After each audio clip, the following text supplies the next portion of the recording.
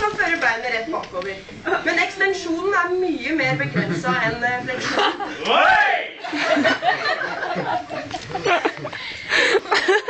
Fører man eh, låret rett ut til siden, kalles dette en abduksjon. Tilbake igjen en adduksjon. Det er også mer begrensa, den adduksjonen. En utoverrotasjon er når man vrir beinet slik at kneskåla vender utover. Motsatt vei er en innoverrotasjon.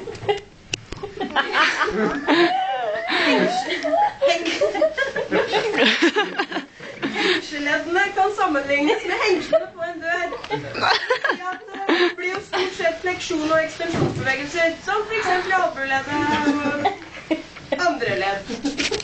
Yes. Og glideledd. og Det er litt vanskelig å demonstrere, da. Glideledd. Eh,